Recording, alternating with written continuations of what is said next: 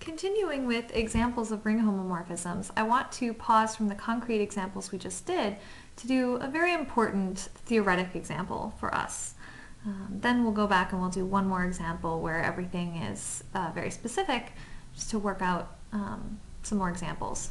So the example that I want to cover here that's theoretic, theoretical is if we start with I, an ideal of a ring R, then we saw last time that we can form a factor ring R mod I, and that's going to be our ring S. And we're going to define a ring homomorphism, or define a map that we claim is a ring homomorphism from R to S, or R mod I, that takes an element of the ring R and just maps it to the coset R plus I. And we claim that this map is a ring homomorphism, where the kernel of this ring homomorphism is the ideal I. Now, let's go through and let's justify why this is so. What I have written here is, let's start out, let's take A and B to be two arbitrary elements of the ring R. What we need to show is three things. We need to show that this map we've defined uh, respects the addition of each of these rings. We need to show that it respects the multiplication of each of these rings.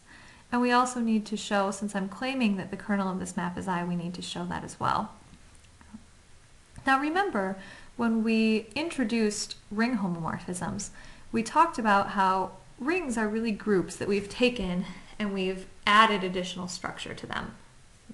So in particular, this property that phi of the quantity A plus B is phi of A plus phi of B, this is a group theoretic property. This isn't new to the study of rings. And this idea of taking a, a ring, which is a group, and looking at the cosets defined by a normal subgroup, uh, this is the idea of a group homomorphism, and this isn't new to us either.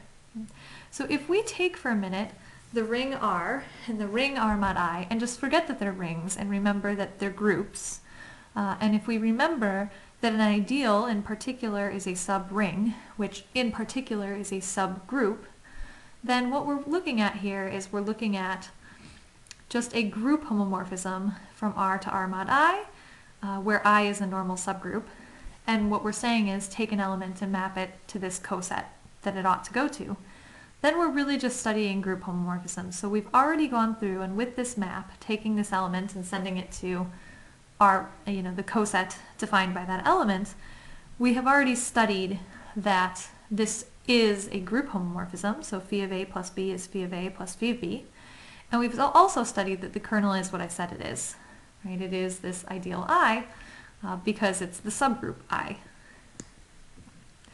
So what we need to do, what this really boils down to for us, is showing that the new thing, the thing that's new to the ring R and the thing that's new to the factor group R mod I, the things that are new there are the multiplication structures that we defined in the last series of videos.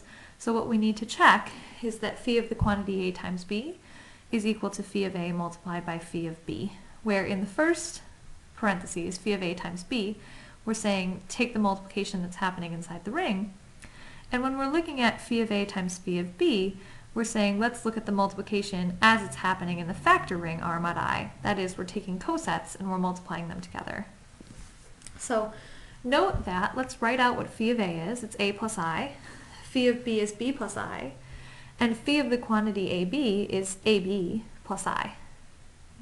In the lesson where we learned about factor rings, we saw that if we now have the additional structure that I is not just a subgroup or a subring, but that I happens to be an ideal, then we were able to define a multiplication on the factor group R mod I that turned it into a ring.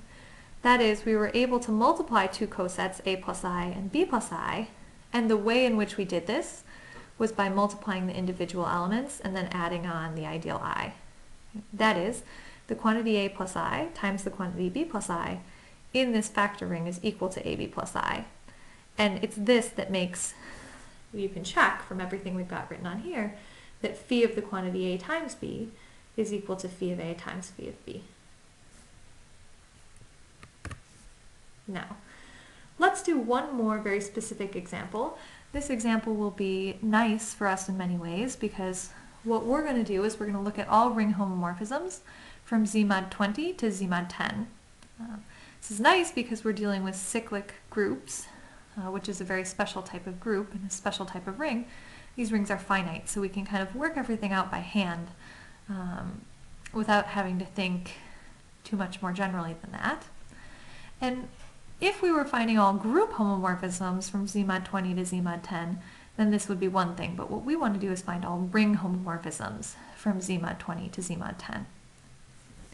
Now the key here is that both of these rings happen to have a unity. It's the same unity, it's the number 1. And with this unity, we know that 1 times 1 is equal to itself, which is 1. If we apply phi to that property, uh, then we see that what phi of 1 must be equal to is phi of the quantity 1 times 1.